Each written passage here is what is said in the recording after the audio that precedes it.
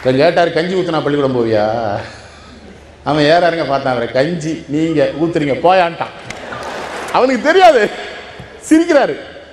நேர சென்னைக்கு வந்த உடனே என்டி சுந்தரவடிவேலுவை கூப்பிட்டு இந்தாப்பா சோறு இல்லாமல் பல பிள்ளைகள் பள்ளிக்கூடத்துக்கு போகாமல் இருக்கிறான். நம்ம ஒரு நேரம் சோறு போட்டு அவனை பள்ளிக்கூடத்துக்கு வர வைக்கணும் ஏழை விட்டு பிள்ளைய. அதுக்கு ஏதாவது திட்டம் கூட பள்ளிக்கூடத்தில் படித்தா கெட்டு போகணும் அவருக்கு யாராவது சொல்லி கொடுத்துருக்கான். நம்ம என்ன பண்ண முடியும்? என்ன மணி? நான் அப்படி தானே தப்பித்தேன் நான் படிக்கல இல்லை தப்பிச்சு மாவட்ட ஆட்சித்தலைவர் அவருடைய பங்களாவில் இருக்கார். எதிர்பார்க்கல அவர் மறுநாள் காலையில் முதலமைச்சர் கார் அங்கே போய் நிற்கி மாவட்ட ஆட்சித்தலைவர் வீட்டில் போ மாவட்ட ஆட்சித்தலைவர் வீட்டில் இவர் நினச்சா அவர் இங்கே வந்து போகிறார் அவர் வர்றார் வெளியே. வணக்கம் வணக்கம் தம்பி வணக்கம் தம்பி. நீங்கள் படித்த பிள்ளையெல்லாம் அப்படி நேர்மையாக நாணயமாக இருந்தா தாயா நாங்கள் விடுதலைக்கு பாடுபட்டதுக்கு அர்த்தம். இந்த நாடு அப்பந்தாயா உருப்பிடும். ரொம்ப மகிழ்ச்சி. பாராட்ட தான் வந்தேன். அவருக்கு தெரியாது இது புறநானூற்று பாட்டுன்னு. ஒரு புறநானூறு படிக்கல. ஆனால் அவர் சாதாரணமாக சொல்கிறாரு புறநானூற்றில் இவனும் எழுதியிருக்கான். அப்போ தான் நினச்சேன் புறநானூறு எழுதுகிற காலத்திலேயும் காமராஜரை போன்ற தமிழர்கள் தமிழ்நாட்டிலே உயிரோடு இருந்திருக்கிறார்கள் என்று எனக்கு அப்படி தோணுச்சு.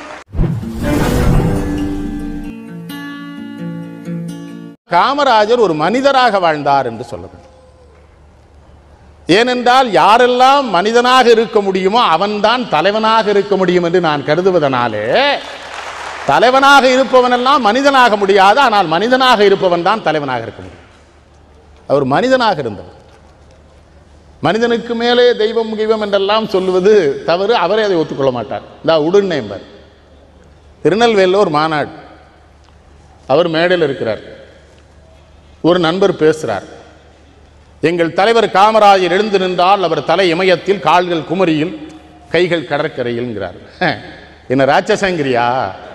ஏய் என்னடா கிறுக்க மாதிரி பேசுகிற என்ன ஹிந்து பத்திரிகை எடுத்து காட்டுறார் ஒரு முக்கியமான செய்தியை. நீ எம்ஏ படிச்சிருக்கிற படிச்ச பிள்ளைன்னு நினச்சேன் இந்த செய்தியை பேசுவியா மக்களுக்காக? தலை எமயத்தில் இருக்கான் கா. அட கிறுக்கன். படிச்சவன்லாம் அப்படி ஆனால் அந்த நாடு எப்படி ஆகும்னாரு புகழுரைகளை விழும்பாதவன் எவனோ அவன் தலைவன். அதுக்கப்புறம் தான் அவரை தலைவருங்கணும் புகழுரைகளை ரொம்ப யாராவது புகழ்ந்தான்னா எச்சரிக்கை ஆயிடுவார். அவன் வெளியே போனோடனே சொல்கிறார் ஏதோ தப்பு பண்ண போகிறான் போல தெரியுதுன்னு. அவனை கவனி எதுக்கு என்ன இவ்வளோ பேசுகிறான் நமச்சிவாயம் போய் குமுதத்தினுடைய ஆசிரியர் எஸ்ஏபியை அழைத்து கொண்டு காமராஜரை பார்த்து உங்கள் வாழ்க்கை வரலாறு எழுதணுங்கிறார் இவர் பிடியே கொடுக்க மாட்டேங்கிறார். எதுக்குன்னு என் வாழ்க்கை வரலாறு விடுங்கிறார். தொடர்ந்து பத்து முறை எஸ்ஏபியும் நமச்சிவாயம் பார்க்குறாங்க. சரி எழுது. அப்படின்ட்டு எஸ்ஏபிட்ட சொல்கிறாரு முன்ன கூட்டியே அவன்கிட்ட எழுதி வாங்கி வச்சுக்கோங்க எல்லாத்தையும். இடையில ஏதாவது ஒரு வாரம் வரலன்னு வைங்களேன் நான் ஆட்சியில் இருக்கிறேன். உங்கள் பத்திரிகைக்கு எனக்கு ஏதோ தகராறுன்னு எழுதிடுவான்னு. ஊரில் ஏதாவது சொல்லிடுவான் முதல்ல வாங்கி வச்சுங்க அப்புறம் நமச்சிவாயத்தில் சொல்கிறாரு எழுதுன்னு. நீ எழுதுறத படிக்கிறவன் என்னை காக்காவை பிடிக்க எழுதுறேங்கிற மாதிரி இருக்காமல் எழுது. என் ஃபிகரை பெருசாக காட்டணுங்கிறதுக்காக மற்ற யாரையும் டிஸ்ஃபிகர் பண்ணிடாத ரொம்ப கலர்ஃபுல்லாக எழுதாத. உனக்கு தான் தெரியுமே நான் கலராக கிடையாது. ரொம்பலாம் பரபரப்பாக எழுதிடாத எங்கேயாவது என்னை ரொம்ப உயர்வாக காட்டணும்னு பொய் எழுதிடாத நான் சரி பார்ப்பேன்னு. நீ எழுதுனதை பூரா என்கிட்ட கொண்டு கொடு நான் சரி பார்த்துட்டு எஸ்ஏபிட்ட கொடுக்குறேன்னா சரி எழுது.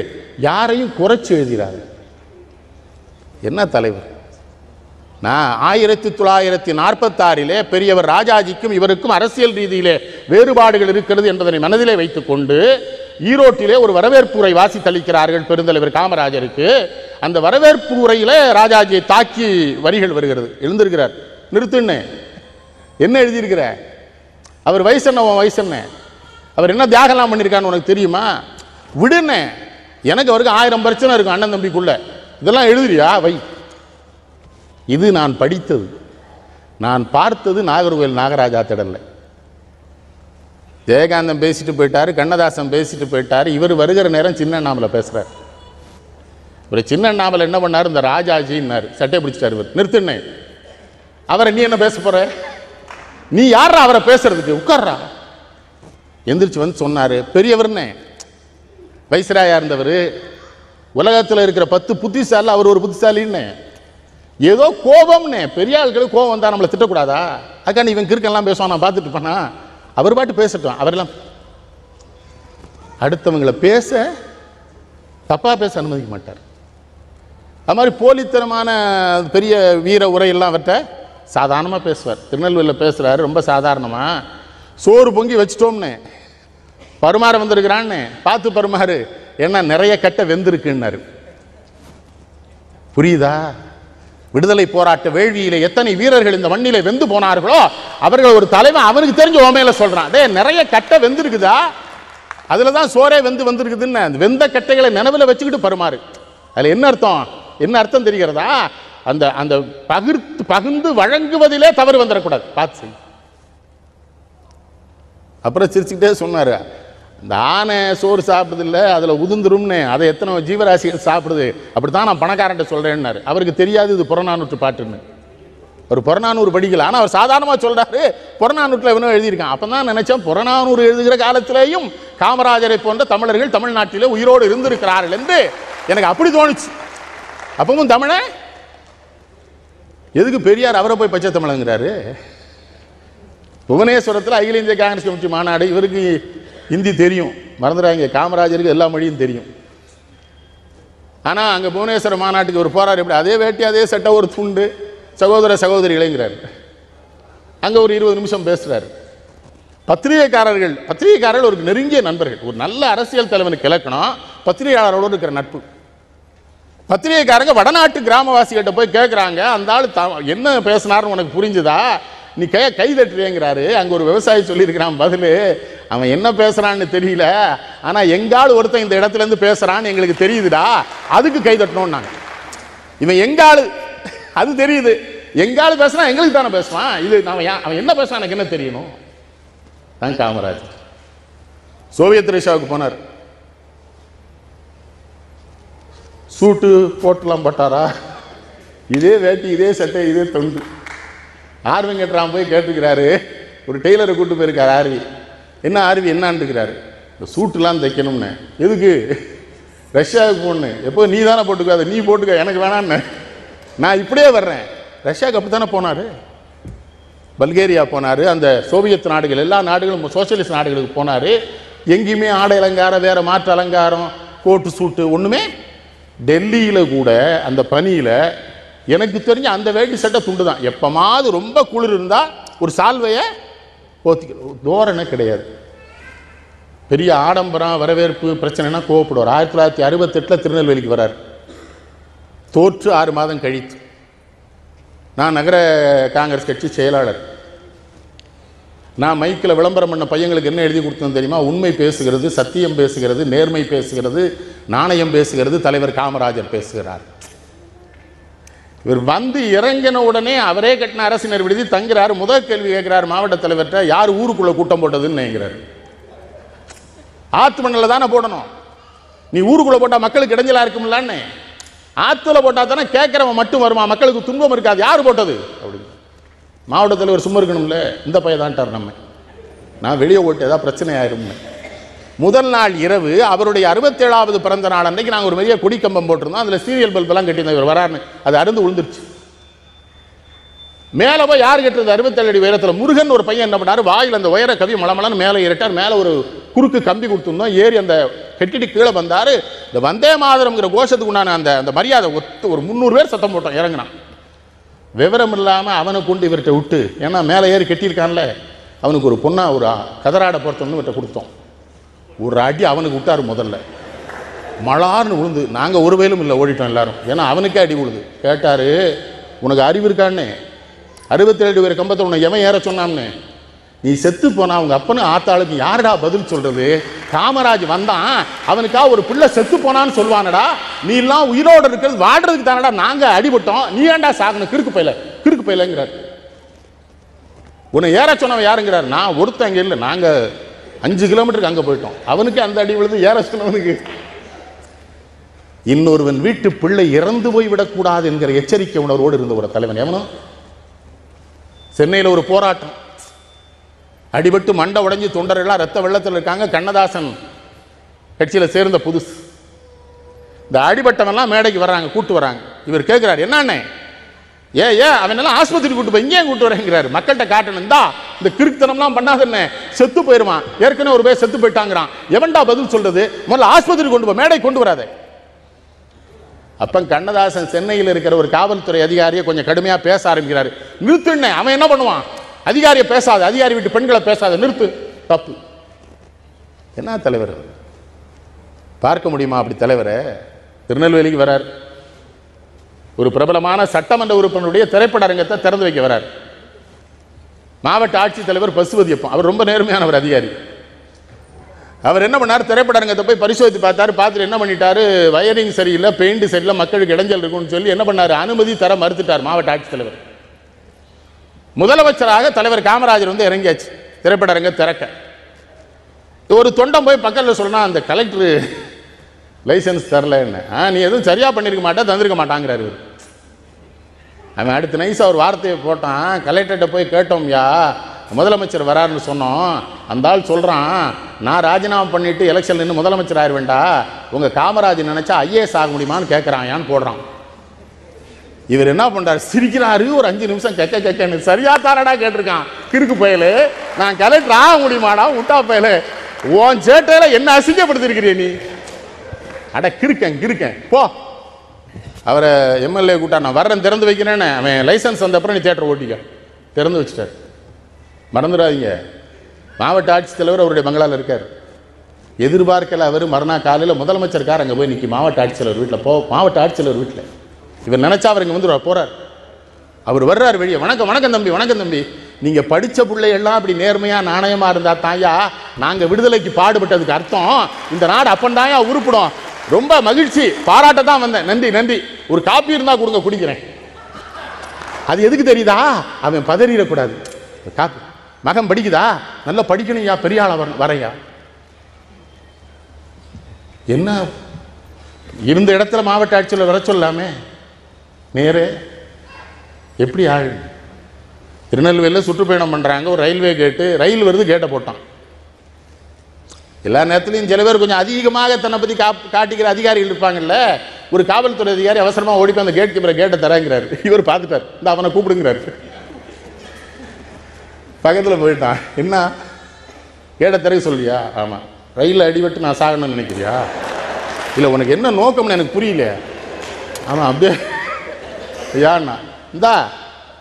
ரயில் போகிற போகிற பொழுது மக்கள் யாரும் அதில் மாட்டிக்கிறோடா கார் எதுவும் போகக்கூடாது மா அதுக்கு தானே அதை கேட்டு போட்டிருக்கு. அதுக்கு தானே அவனை வேலைக்கு வச்சிருக்கு. அவனை போய் திறங்கிறிய?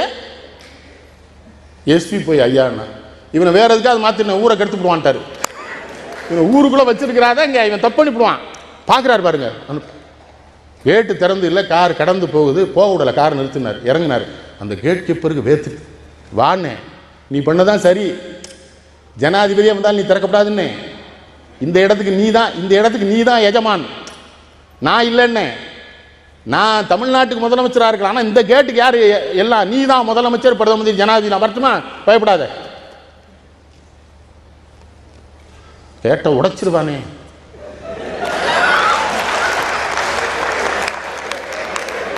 இது வெளியன்னா வேற இது பொதிகை. ரொம்ப எச்சரிக்கையாக பேசணும். இது அரசினர். அது வேற சிரமமாக என்ன? போயிட்டார். அங்கே தாங்க சேர்மாதேவியில் தான் ஒரு ரயில்வே கேட்டில் நிற்கிறாரு இந்த ஒரு பையா மாடு மேய்ச்சிட்ருக்கிறான் அவனை கூப்பிட்றாரு. என்ன மாடு மேய்க்கிற பள்ளிக்கூடம் போலையா? அவருக்கு இவனை அவ அவனுக்கு இவரை தெரியாது. சினிமாவில் நடித்தா முதலமைச்சராக இருக்கிறாரு. அவனுக்கு அடையாளம் தெரியாது. அதனால் அவன் என்ன பண்ணான் ஏ பள்ளிக்கூடத்துக்கு போனால் யார் யார் கஞ்சி ஊற்றுவான்றான் இவரை அப்போ ஒரு அதிகாரி அந்த பையன்ட்ட போய் ஏய்ண்ணா இவர் ஏ நிறுத்துன்னு. அவனுக்கு என்ன தெரியுமா? என்ன நீ அவன்கிட்ட கோவப்படுற? அவனுக்கு அவன் நாட்டு முதலமைச்சரே தெரியலன்னா அவன் எவ்வளவு கேவலமான நிலைமையில வாழ்ந்துட்டு இருக்கா அதுக்கு நம்மளாடா பொறுப்பு. நீ அவன்கிட்ட எப்படா கோவப்படலாம்? இவன் கேட்டார் கஞ்சி ஊற்றுனா பள்ளிக்கூடம் போவியா? அவன் ஏறாருங்க பார்த்தான் அவரை கஞ்சி நீங்கள் ஊத்துறீங்க போயான்ட்டான். அவனுக்கு தெரியாது. சிரிக்கிறாரு. நேர சென்னைக்கு வந்த உடனே என்டி சுந்தரவடிவேலுவை கூப்பிட்டு இந்தாப்பா சோறு இல்லாமல் பல பிள்ளைகள் பள்ளிக்கூடத்துக்கு போகாமல் இருக்கிறான். ஒரு நேரம் சோறு போட்டு அவனை பள்ளிக்கூடத்துக்கு வர வைக்கணும் ஏழை விட்டு பிள்ளைய. அதுக்கு ஏதோ ஒரு திட்டம் கூடங்கிறார். ரெண்டு நாளுக்கு மதிய உணவு திட்டம். யார் என்டிஎஸ் கொடுக்குறாரு. புரியுதா? எப்படி ஆழவர் சின்ன சின்ன விஷயங்கள் நான் பார்த்துக்கேன் ரொம்ப நகைச்சுவை உணர்வு உண்டவர். திருப்பூருக்கு போயிருக்கார் இப்பவும் இருக்கார் சத்தார். என்ன ரகு? சத்தார்னு இன்னொரு புகைப்படம் ரொம்ப வயசாயிட்டு இருக்கிறாரு. ஒரு இஸ்லாமிய நல்ல கருப்பாக இருப்பார். கருப்புனா சரியான கருப்பு. பெரியவர் பேசிட்டு அவர் ஒரு பத்து இடத்துல இருந்து ஃபோட்டோ எடுக்கிறார். யார்? சத்தார். இவர் திடீர்னு நிறுத்திட்டார் பேச்சை நிறுத்திட்டு இப்போ எதுக்கு என்ன இவ்வளோ ஃபோட்டோ எடுக்கிற? ஒன்றையும் என்னையும் எவனாவது பார்க்க போகிறானாங்கிறாரு அவரும் கருப்பு இவரும் கருப்பா? என்னது கொண்டு இவ்வளோ சிரமம்? பத்தாயிரம் பேர் சிரிக்கலாம் திருப்பூர் மக்கள். பாருங்க அவர் எவ்வளோ சாதனம் நிறுத்தின பத்து எடுக்கிறாங்க. அந்த நகைச்சுவை உணர்வு. அது மாதிரி அலைவோசை பத்திரிகை பத்திரிகை அவர்கிட்ட ஒரு சிறப்புங்க. தினசரி பத்திரிகையாளரை சந்திச்சிருக்கிறார். பத்திரிகையாளரோட கலந்து பேசியிருக்கிறார். பல உண்மைகளை பத்திரிகையாளர்கிட்ட சொல்லுவாராம். மறைக்க மாட்டார் எல்லாம் சொல்லிட்டு அந்த அந்த அந்த அவங்க ரெண்டு பேருக்கும் இந்த நேர்மையான தொடர்பை பாருங்க. எல்லாம் முடிச்சுட்டு கடைசியில் சொல்லுவாரா எப்பா எதுவும் பத்திரிகையில் போட்டுறாங்கன்னு பாரு ஒருத்தரும் போட மாட்டாங்க. இந்த கட்டுப்பாடு. ஐயா அந்த செய்தி வேணாமே. நான் சொல்கிறேன் அப்போ போடு. அப்போ ஒரு தடவை எல்லா நிருபர்களும் போனால் இந்த அலைவாசி நிருபர் என்ன பண்ணியிருக்காரு அவசரமாக நாற்காலி எடுத்து ஒரு பக்கத்தில் உட்காரணும். நாற்காலி எடுத்து இருந்த ஒரு டேபிளில் தட்டி தடுமாறி கிடுமாறி விழுந்த உடனே ஒரு சிரிச்சு கேட்டுக்காரு என்ன அலை ரொம்ப வேகமாக அடிச்சிருச்சான்னா அலை? அப்புறம் இன்னொரு நிருபர் சொல்லியிருக்காரு ஐயா கள்ளு கடையெல்லாம் திறந்துடலான்ட்டு எதுக்குன்னு உணவு பற்றாக்குறை தீர்ந்துரும் இருக்காரு அது எப்படி தீரும்னே? இருக்காரு. கல் குடிச்சிட்டானா பசிக்காதுன்னு இருக்கிறாரு அது உனக்கு எப்படி தெரியும்னே இருக்காரு அது உனக்கு எப்படி? சொல்லு. என்ன ஒரு அற்புதமான தலைவர். நேர்மை நாணயம் ஒழுக்கம்லாம் அவருக்கு பிறப்புறவன் ஒரு தலைவன் என்பவன் தன்னோடு இருப்பவன் பாராட்டப்படுகிற பொழுது தாயைப் போல அதை கண்டு மகிழ வேண்டும். இந்த பொழுதில் பெரிதுவக்கும் தன் மகனை சான்றோன் என கேட்டதாய்னு வள்ளுவ பேராசான் சொன்னானே. அவர் இதே மதுரையில் தான் பேசும்போது சொல்லியிருக்கிறார் இந்த என்னையே பாராட்டாதாங்க என்ன? இந்த கக்கனை பாராட்டுங்க. ஏழை தாழ்த்தப்பட்டவன் பொண்டாட்டி பிள்ளையோட நேர்மையாக இருக்கான்னு எனக்கு தான் பொண்டாட்டி பிள்ளை கிடையாது. இருந்தால் எவனாவது தப்பு பண்ணி தொலைச்சிருப்பான். பொண்டாட்டி பிள்ளையோட நேர்மையாக இருக்கிறான். அவனை பாராட்டு. அவருக்கு என்ன ஒரு உணர்வு இருந்தால் முத முதல்ல இந்து அறநிலையத்துறை அமைச்சராக பரமேஸ்வரன் ஒரு தாழ்த்தப்பட்டவரை போட்டார். ஏன் தெரியுமா? வைத்தியநாதையர் மதுரையில் வைத்தியநாதையர் தானே கூட்டு போனார் கோயிலுக்குள்ளே முத முதல்ல தாழ்த்தப்பட்டவர்களை அதுக்கு தேவர் முழு பாதுகாப்பு கொடுத்தாரில் வைத்தியநாதையருக்கு. பிரச்சனை வரும்னு முத்துராமலிங்க தேவர் தான் நான் ஆள் தரேன் நீ கவ கவலைப்படாத கூட்டு போன்னு சொன்னார். கேட்டிங்களா? அந்த அந்த இந்த மதுரையில் தான் அது நடந்தது. இவர் மனசுக்குள்ளே காமராஜர் மனசுக்குள்ளே என்ன நினைப்பு? இவங்களை விடுறதுக்கு ரொம்ப பிரச்சனை பண்ணாங்கல்ல. ஒரு அரிஜனையே மந்திரி ஆகிட்டா அவன் எல்லா கோயிலும் வரவேற்று தானே தீரணும்? பரமேஸ்வரன். அவர் நேர்மையாக இருந்ததாருங்க நான் காமராஜரை பற்றியே சொல்ல வேண்டாம். அவர்கிட்ட அமைச்சர்களாக இருந்தவங்களை சொன்னாலே போதும் அவர் நேர்மை தெரியும். கக்கன் இந்த ராஜாஜி அரசினர் மருத்துவமனையில் பொது மக்களோடு தானே படுத்து கிடந்தார் நோயாளியா? ஆயிரத்தி தொள்ளாயிரத்தி அறுபத்தி மூணுல என் தலைவர் காமராஜர் சொன்னார் புரட்சி தலைவர் எம்ஜிஆர். அவர் தானே கக்கனுக்கு எல்லா வசதியும் பண்ணார். அறுபத்தி மூணுலேயே எம்ஜிஆர் என்ன சொன்னார்? என் தலைவர் காமராஜர்னார். காமராஜர் பிறந்த நாளில். வேணாம் அது பெரிய சர்ச்சை. அறுபத்தி மூணுல சொன்னார் எம்ஜிஆர். அதனால தான் எம்ஜிஆர் எவரை தன் தலைவனாக தன் மனதிலே நினைத்திருந்தாரோ அந்த தலைவன் கொண்டு வந்த மதிய உணவை சத்துணவாக மாற்றினார் எம்ஜிஆர். அதை மனசுலே வச்சிருந்தது காமராஜ் மேல இருந்த பற்று. என்ன தலைவர்? தோத்து போயிட்டார் அறுபத்தேழில். பார்க்க போகிறவன்லாம் ஆள்றான் அவர் சிரிச்சிட்டு இருக்காரு. என்னையா தோத்துட்டீங்கன்னு. இதுக்கு தானே ஜனநாயகம் கொண்டு வந்தோம்? இதுக்கு தானே சுதந்திரம் வாங்கினோம்? நம்ம தேர்தல் நேர்மையாக நடத்திருக்கோங்கிறது நான் தோத்ததுலேயே தெரியுதா இல்லையா? உட்றா போ தோத்துட்டோம். ஐயா வெடி போடுறாங்க ஏங்கிறான் ஒருத்தன் போய். ஏன்னா காமராஜர் வீட்டுனாலே வெடி போடுறாங்க. உள்ளே போய் சொல்கிறான் சிரிக்கிறாரு. போன தடவை நீ போட்டு இல்லை. இப்போ அவன் போடுறான். நான் முதல்ல சொன்னேன் மனுஷனாக இருந்தால் தான் இதெல்லாம் சொல்ல முடியும். ஏன்னா நீங்கள் மனுஷங்களை பூரா மனுஷங்களாக நினச்சிடக்கூடாது. நீ எது? நினைக்கலாமா அப்படி? கூடவே கூடாது இல்லையா? ஒரு சாமியார் இருந்து இப்படி தான் வடலூரில் போகிறவனெல்லாம் அந்த நரி போதுன்னு இருக்கான் ஒரு ஆளை. இது புலி இது சிங்கம்னு வள்ளலார் போகும்போது அந்த ஒரு மனுஷன் போகிறான்னு இருக்கான். வள்ளலார் போகும்போது அவர் மனுஷன். உடம்பால மனுஷன் பார்த்துடக்கூடாது உள்ளத்தால். எப்படி ஆழவர்? பத்திரிகையாளர்கிட்ட இருக்க தொடர்பு பெருசு இல்லை. பெரம்பலூருக்கு வராருங்க. ஒரு புகைப்பட நிருபர் கூட்டத்துக்கு வந்து புகைப்படம் எடுத்துட்டு இருக்கிறாரு. இவருக்கு என்ன நினைவு பாருங்க. பேசிட்டு பேச போனவர் பக்கத்தில் கூட்டு அந்த ஃபோட்டோகிராஃபர் சுந்தரம் இருக்கான் கூட்டுவா மேடைக்கிட்டு இருக்காரு. சுந்தரத்துக்கு என்ன பையன் நம்ம ஏதோ தப்புன்ட்டோம்ல அதிகமாக ஃபோட்டோ எடுத்தா சத்தம் போடுறாரு எதுக்கு கூப்பிடான்னு தெரியல வந்தா என்ன கையில் காயம்னு ரத்தம் வடிஞ்சுக்கிட்டு போனேன் ஏமா ஃபோட்டோ எடுக்க சொன்னான் சுந்தரம் ஆள்றான் யா பார்த்தேன்னு நான் இங்கேருந்து பார்க்குறேன் ரத்த வடிது என்னடா ஆச்சு? அப்படின்னு இல்லை வரும்போது ஒரு கம்பல் கம்பல் அடித்தா கேமரா வச்சுட்டு போக வேண்டியதானே? நான் இப்போ என்னை எடுத்து ஃபோட்டோ எடுத்தால் முக்கியம். தான் இவனை முதல்ல கொண்டு ஆஸ்பத்திரியில் சரி கூட வர்ற பத்திரிகைக்காரங்க போலீஸ்காரங்க அத்தனை பேர் சாப்பிட்ட பிறகு தான் அவர் சாப்பிடுவார். அது காரணம் சொன்னார் நான் சாப்பிட்டேன்னா அவ்வளோ பேரையும் விட்டுருவான்னு. விட்டுருவான். தெரியும்ல அப்படிங்கிற சேலத்துக்கு போகிறார் சேலம் மாவட்டத்தோட சுற்றுப்பயணம் பண்ணார் பல மில் முதலாளிகள் அங்கெல்லாம் சாப்பாடு நடக்குது. வரும்போதே சொல்கிறாரு பூரா அறக்கண்ணப்பனாக இருக்கானேங்கிற நீங்கள் அவர் ஒரு பெரிய பிராணம் படிக்கல அது படிக்கலாம் அவரை சொல்லுவாங்க. அவர் எப்படி படிச்சிருக்காரு? அறக்கண்ணப்பனாக இருக்கானேன்னு இருக்கார். மாவட்ட தலைவருக்கு புரியல. உடனே சிரிச்சுக்கிட்டே கூட வந்த பையன்ட்ட சொல்லியிருக்காரு. அவன் வைஷ்ணவன் அவனுக்கு புரியாதுன்னு நினைக்கான்னு இருக்கிறார். இந்த சைவ வைஷ்ணவ வேறுபாடெலாம் அவர் தெரிஞ்சிருப்பாரு. வைஷ்ணவன் அவனுக்கு புரியாதுன்னு நினைக்கிறேன்னு அப்போ இவர் என்ன என்னன்னு கேட்டுக்கார் ஒன்றும் இல்லைப்பா கண்ணப்பன் சாப்பாடு வச்சான் சிவபெருமானுக்கு.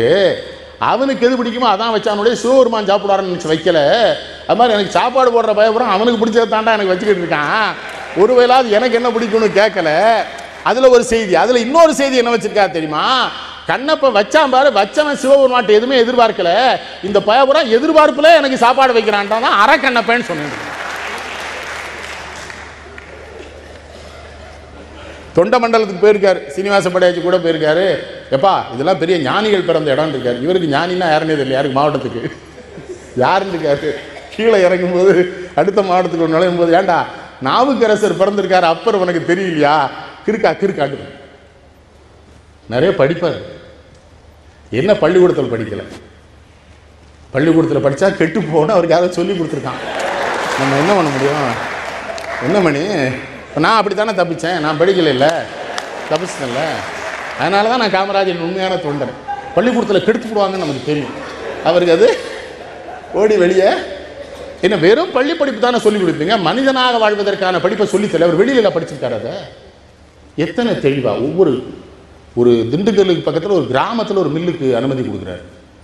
நிருபர்கள் போய் கேட்குறான் என்னங்க அவ்வளோ உள்ள தள்ளி அனுமதி கொடுக்குறீங்க? ஒன்றும் இல்லைப்பா. அது ஒரு அறுபது கிராமம் தாண்டி அந்த மில்லு துவக்குறான். அவனை என்ன பண்ணிட்டோம் திண்டுக்கல்லேருந்து அவனே கரண்ட் எடுத்துக்கிட சொல்லிட்டோம் அதனால் அவன் திண்டுக்கல்லேருந்து போஸ்ட் கேஸ்லாம் நட்டு கரண்ட் எடுத்துக்குவான். அப்புறம் அந்த போஸ்ட்லேருந்து நாங்கள் அந்த அறுபது கிராமத்துக்கு கரண்ட் கொடுத்துருவோம்ட்டார். ஓ. அறிவு சென்னையில் ஒரு பேருந்து ஓட்டுநர் ஒரு மாணவனை அடிச்சுட்டார். பெரிய தகராறு. மாணவர்கள் ஊர்வலம். கோட்டைக்கு வந்தாச்சு ஒரு முதலமைச்சர். அந்த கண்டக்டர் உடனே டிஸ்மிஸ் பண்ணுங்கிறான். கீழே வந்தார். என்னப்பா அப்படியா? இந்தா அவன் எந்த ரூட் அவனை டிஸ்மிஸ் பண்ணு மாணவர் காமராஜர் வாழ்க வாழ்கன்னு போயிட்டான். இவர் போயிட்டார் அறைய போய் ஒன்றரை மணி நேரம் கழிச்சு அந்த கண்டக்டர் வந்து நிற்கிறான் என்னப்பா எந்த ஊர்? செங்கல்பட்டு. உங்கள் வீட்டில் எத்தனை பேர் வேலை பார்க்குறாங்கய்யா? நான் ஒருத்தன் தான் கிறுக்கு பிள்ளையா இருக்கிறிய. பள்ளிக்கூடத்து பிள்ளைகிட்ட சண்டை போடலாமா? என்னய்யா ஐயான்னு? அவன் ஒன்று ஐயா என்னை டிஸ்மிஸ் பண்ணிட்டீங்களாமேன்னு அப்படி சொன்னா தான் அவன் போவான்னு. எது டிஸ்மிஸ்லாம் பண்ணல. செங்கல்பட்டில் இருக்கா கொஞ்ச நாள் இங்கே வேணாம். அவனுங்க பார்த்துருவான் ஒரு பிரச்சனையை தீர்த்துட்டார் பார்த்தீங்களா படிப்பு வேற அறிவு வேற.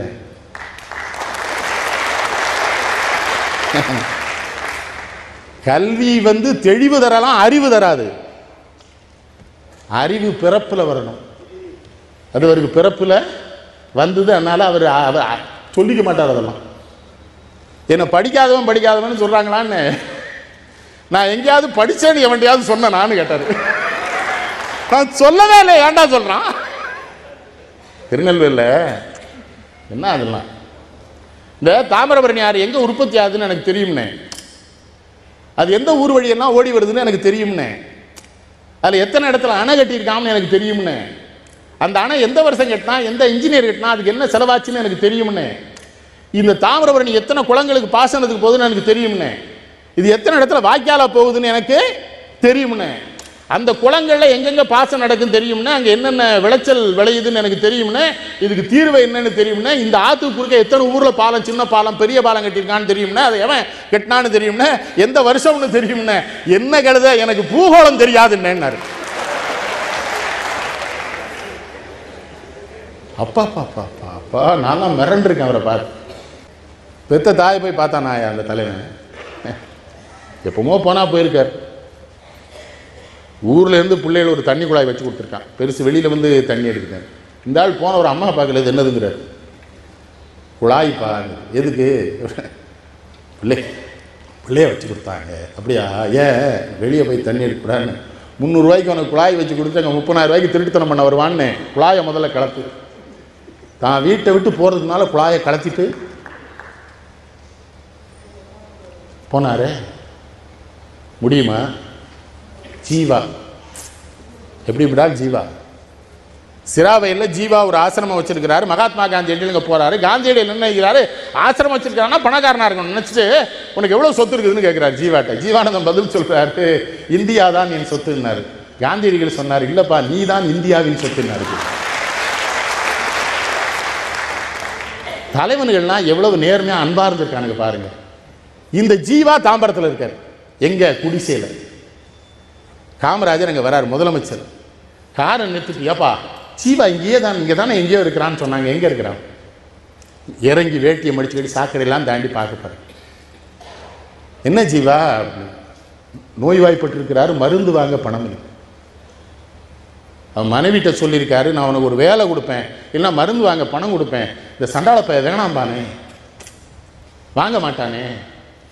ஏ உனக்கு உனக்கு ஒரு வீடு தரேன்டா ஜீவாங்கிறார். அவர் சொல்லார் எனக்கு வீடு வேணாம் காமராஜ். இந்த இந்த நிலம் பூரா இங்கே இருக்கிற ஏழைகள் இருக்கான்ல இவங்களுக்கு பட்டா போட்டு கொடுங்குறாரு. அவர் ஒரு சின்ன பிரச்சனை. அங்கே இருக்கிற காங்கிரஸ்காரர் குறைஞ்ச நிலம் போதுங்கிறார் ஜீவா அதிகம் வேணுங்கிறாரு. இது முதலமைச்சர் அங்கே வர்றாரு அந்த காங்கிரஸ்காரர் வீட்டுக்கு போகும்போது ஜீவா வரட்டும்னு கூப்பிட்டு விடாரு. ஜீவா வந்து உட்கார்றாரு. ஜீவா என்ன பண்ணியிருக்காரு கொஞ்சம் கோபத்தில் காமராஜ் இந்த காங்கிரஸ்காரன் சட்ட பாக்கெட்டில் இருக்கான்னு இருக்கிறாரு. போய் உட்கார்ந்த உடனே அந்த காங்கிரஸ்காரர் என்ன பண்ணியிருக்காரு ஐயா நீங்க என் சட்ட பாக்கெட்டில் இருக்கேன்னு ஜீவா சொல்ல ஜீவா தானடா சொல்றாப்புல ஜீவா தவிர அவர் யாரா நம்மளை சொல்ல முடியும்? அவன் எவ்வளவு பெரிய ஆள் சொல்லட்டும். சொல்லிட்டு ஒரு சிரிச்சா சொன்னான் ஜீவா நீ இப்போ என் கட்சியில் இல்லை இல்லை நான் இப்போ அவன் பாக்கெட்டில் தானே இருப்பேன். நான் உன் பாக்கெட்டில் இருக்கேன்னு தான்டா நினைக்கிறேன். நீ என் கூட இல்லையேன்னாரான் என்ன? அடுத்த முறை தாம்பரம் போறாரு. அவ்வை தொடக்கப்பள்ளியை துவங்கி வைக்கிறார் காமராஜ். மனசை பாருங்க நிறுத்துறாரு. ஜீவா இருக்கானா பாரு இறங்கி போறாரு. ஜீவா இந்த அவ்வை தொடக்கப் பள்ளியை திறந்து வைக்க போற வரியாங்கிறார். அப்போ ஜீவா சொல்கிறாரு அதுக்கு அடிக்கல் நாட்டினதே நான் நான் தாங்கிறார். ஒருத்தனை என்கிட்ட சொல்லியே வா நீ போ காமராஜ் நான் வர்றேன் கொஞ்ச நேரத்தில். ஏன்டா நீ போயே நான் வரேங்கிறார். அரை மணி நேரம் கழிச்சு ஜீவா போகிறாரு ஏன்டா அப்போவே என் கூட காரில் வந்திருக்கலாம்ல. இல்லைடா ஒரு வேட்டி தான் இருந்ததுடா. துவைச்சி காய போட்டிருந்தேன். உடுத்திட்டு வர்றதுக்காக தாண்டா தேசபக்தன். ஒன்று தெரியுமா? அதான் காமராஜ். ஜீவாவுக்கு தெரிஞ்சால் ஒத்துக்கிட மாட்டான். ஜீவாவுக்கு தெரியாமலே ஜீவா மனைவிக்கு ஒரு வேலை போட்டு கொடுத்துட்டார். அவன் கஷ்டப்படக்கூடாது. கடைசி நிகழ்ச்சியில் ஜீவா சொல்கிறாரு இந்த காமராஜ் பரங்கி மலை பக்கத்தில் குண்டக்குடி அடிகளார் இடம் தரேங்கிறாருப்பா. இந்த தியாகிகளுக்கெல்லாம் சேர்ந்து ஒரு நகரம் கட்டிடலான்னு பார்க்குறேன் அதுக்கு நீ உதவி பண்ணுமேங்கிற. தாராளமாக பண்ணிடுவோம். சாமி தரேங்கிறாரா? பண்ணிடுவோங்கிறார் இவர். ரெண்டாம் நாள் ஜீவா மரணப்படுக்க. முதல் வார்த்தை சொல்லியிருக்கிறார் மனைவிக்கு ஃபோன் பண்ணியிருக்காரு ரெண்டாவது வார்த்தை காமராஜுக்கு தகவல் சொல்லியிருக்காரு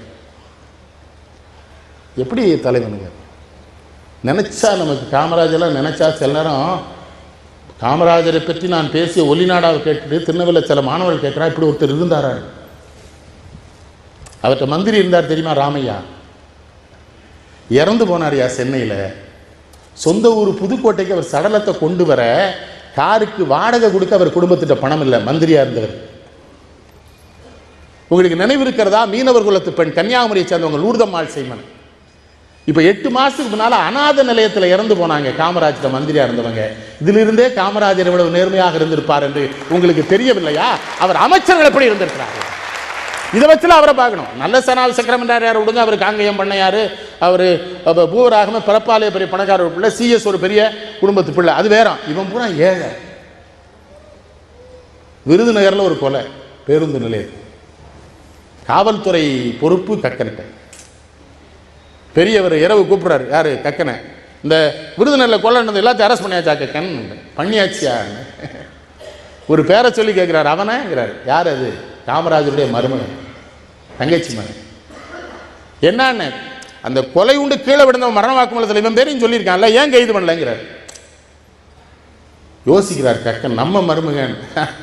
அதெல்லாம் தப்பு. இல்லையா? நான் அப்போ கைது பண்ண சொல்ல இல்லை இல்லை நான் அப்போவே கைது பண்ண சொல்லிட்டேன். அவனை கைது பண்ணிட்டாங்க. இனிமேல் இப்படி தப்பு பண்ணாதீங்க. யாரு? மருமகன் அதை விட சிறப்பாக அந்த மருமகனை கூட்டு ஒரு பெரிய பேருந்து உரிமையாளர் அங்கே போயிட்டார். ஒரு ஒரு ஒரு ஒரு வழித்தடத்தை வாங்குறதுக்கு. காமராஜ் அந்த வழித்தடத்தை வேற யாருக்கும் கொடுத்துட்டார். கொடுத்து ஒரு வாரம் கழிச்சு அந்த பேருந்து உரிமையாளர் கூட சொல்கிறாரு ஏ அங்கே நீ தான் பஸ் ஓட்ட முடியும்னு எனக்கு தெரியும்னே. ஆனால் நீ அவனை கூட்டு வந்த பார்த்தியா அதுக்கு தான் நான் அவனை கொடுக்கல. நீ எங்கேயோ தப்பு பண்ண பார்க்குறிய நீயும் கெட்டு அவனையும் கெடுக்க பார்த்தேன். அது கொடுக்குற இப்போ நாமே சென்னைக்கு பார்க்க போனோம் வைங்களேன். இப்போ கோவிந்தராஜன்லாம் இருக்கார் பார்க்க போனோம். என்ன பண்ணுவோம் போய் எங்கே வந்தேன் பார்க்க வந்தேன் பார்த்தாச்சுல போன்றுவார். பார்த்தாச்சுல அப்போ அந்த தங்கச்சி வழி பேரன் ஒரு போய் மெடிக்கல் சீட்டு கேட்டிருக்கான். மார்க் வாங்கியிருக்கியா? மார்க் வாங்கியிருக்கியான்னு மார்க் வாங்கினா இன்டர்வியூவில் சீட்டு கிடைக்கும் போ. விளாத்திகுளம் சுப்பா ரெட்டியார் அவங்க அவங்க அப்பா வந்து பெரிய தியாகி இவர் அவர் ஒன்று அவர் பேரன் கஷ்டப்படுத்தினா என் கூட வா காமராஜ் அவர் வரவே மாட்டேங்கிறார் கூட்டு போயிட்டான். அது தியாகி எப்படி ஆளா இவர் கூட நண்பர்னா எப்படி இருப்பார்? அவரும் இவர்கிட்ட ஒரு மணி நேரம் பேசியிருக்காரு பேரனை பற்றியே சொல்லலை. வரட்டுமா காமராஜன் இருக்காரு. காமராஜ் கேட்டுக்காரு ரெட்டியார் எதுக்கு வந்த? என்ன? பேரை வெளியே நிற்கிறானாங்கிறாரு சிரிச்சுக்கிட்டு. என்ன? சீட்டு கேட்டானா? ஆமாம் என்ன சொன்னேன்? மாட்டேன்னு சொன்னேன்டா. வம்புடிச்சு கூட்டு வந்துட்டான். வருத்தமாட்டார் அவர். வெளியே வந்தால் பேரன் சொல்ல நீ பேசினியா இல்லை அவர்கிட்ட அவன்கிட்ட எங்கடா பேச? எல்லாம் அயோக்கியத்தனை தப்பு. நீ என்னை கூட்டு வந்தே தப்புக்கிறாரு கிழமை நீங்களாம் என்னையா ஆளுங்கிறான் தஞ்சாவூரில் கும்பகோணத்தில் ஒரு தேவர் காமராஜுக்கு ரொம்ப உண்மையானவர். நேரம் வந்தால் காமராஜ் வீட்டில் கல்யாணம் வச்சுருக்கேன் வந்துட்டாங்கிறார். ஏ கல்யாண வீட்டுக்கு வரதுக்கு தான் நான் முதலமைச்சராக நான் போடான்ட்டு அவருக்கு ரொம்ப வருத்தம். ஏ என்னடா அப்படி சொல்ல போடா முதலமைச்சர்னா கல்யாண வீட்டுக்கு வருதா? போன்ட்டு. ஆனால் கல்யாணத்தன்னைக்கு காலையில் முதலமைச்சர் கார் அவர் வீட்டு வாசல் நிற்கும் அவர் வெளியே ஓடி வந்து ஒரு பத்து, வரமாட்டேன்னு சொன்னேன். இல்லைடான் உன்னை சொல்கிறாரு டே நான் வரேன்னு சொன்னேன்னா கடன் வாங்கி பெரிய மண்டபம் பார்ப்பேன் கடன் வாங்கி செலவு பண்ணுவேன் உன்னை கஷ்டப்படுத்துறதுக்காக நான் உனக்கு நண்பனாக இருக்கிறேன். வந்துட்டல வா சோறு போடு.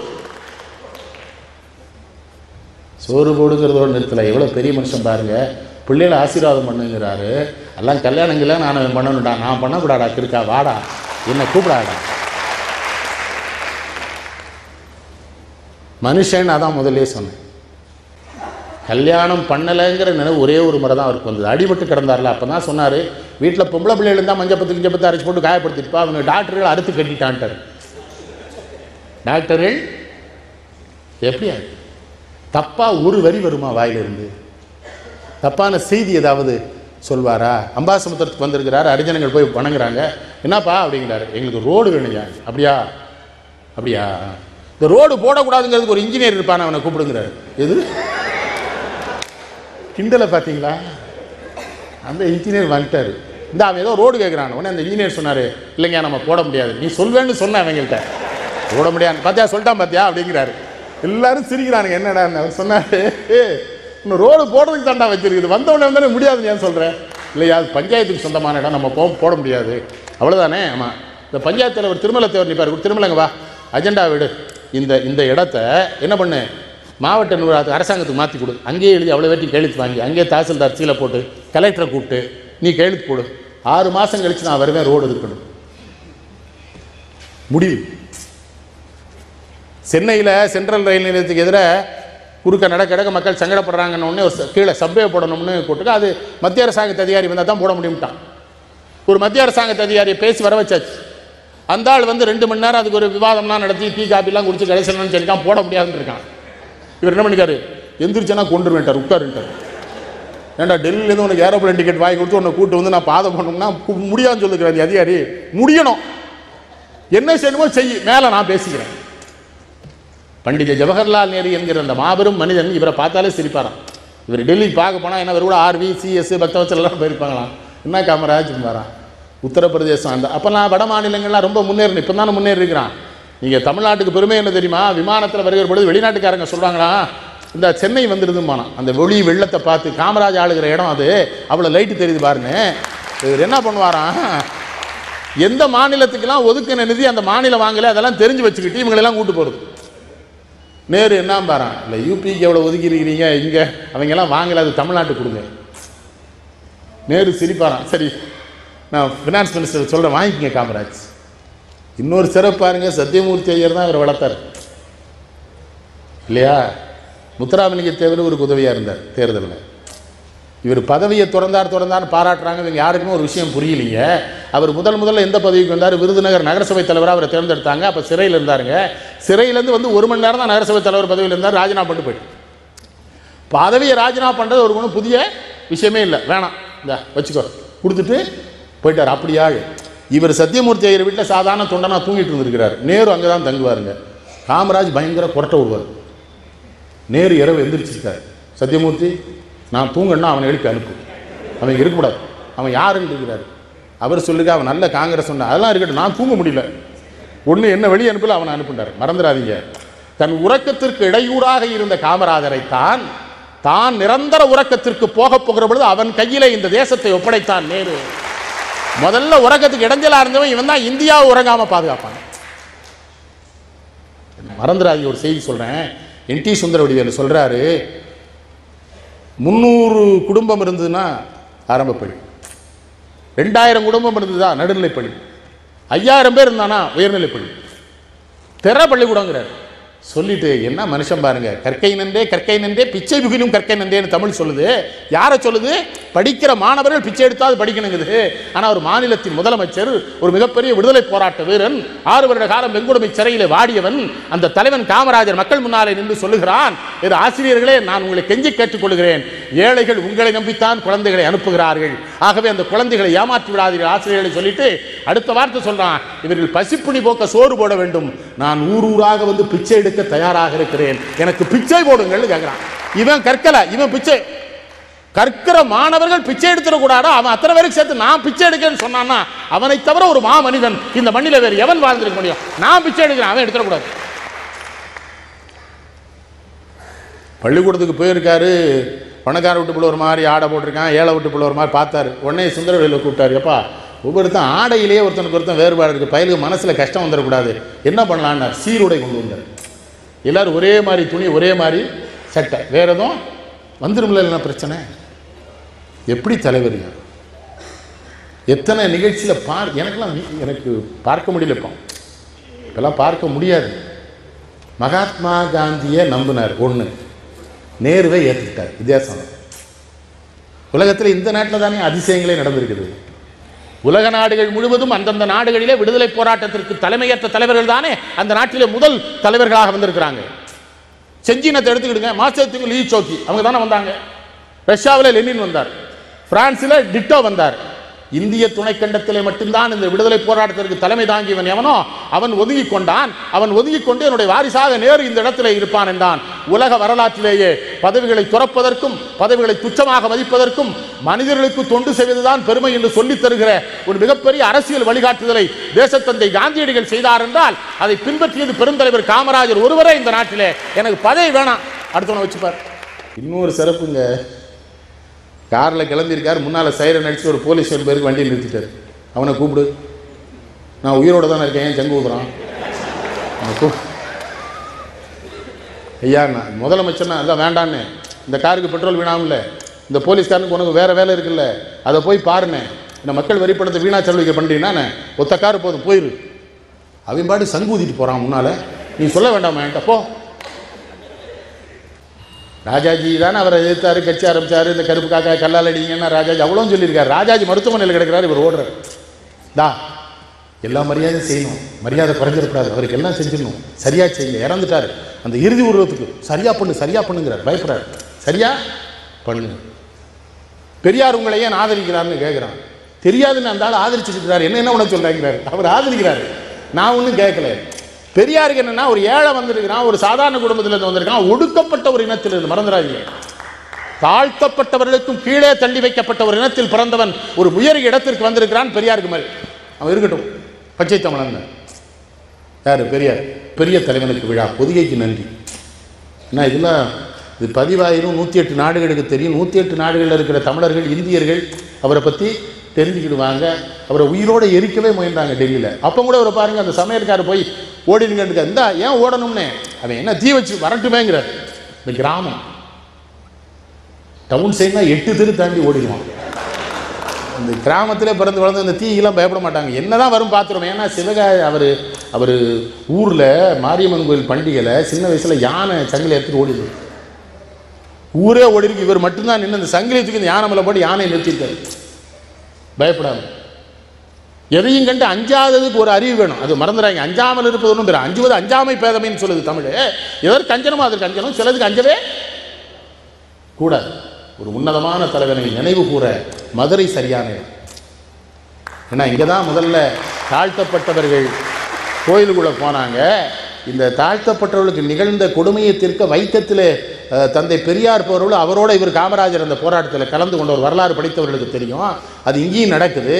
அதனால் மதுரை நான் தேர்ந்தெடுத்தேன். புதிய கேட்டேன். இங்கே நடத்துவோம் என்ன? அவங்க ஒத்துக்கிட்டாங்க. ரொம்ப மகிழ்ச்சி உங்கள் அனைவரையும் சந்தித்தது